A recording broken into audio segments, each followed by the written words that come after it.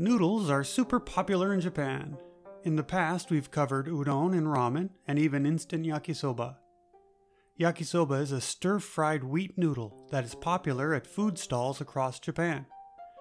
This week, we would like to look at nama pasta, which you can find at grocery stores around the country, and they usually include two servings for between 2 and $3. Welcome to Inside Japan.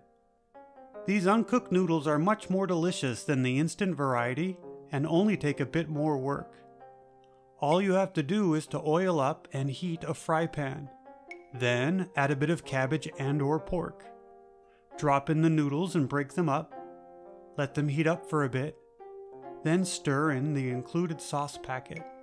In this case, we have a sweet brown sauce similar to Worcestershire sauce. And keep stirring for another minute or so. I don't have much cooking experience, but I was pretty pleased with the results.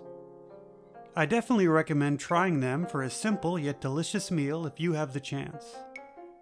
If you enjoyed this, please check out our other videos exploring food in Japan. And make sure to subscribe so you don't miss out on any of our new content. Thanks for watching. This has been Inside Japan.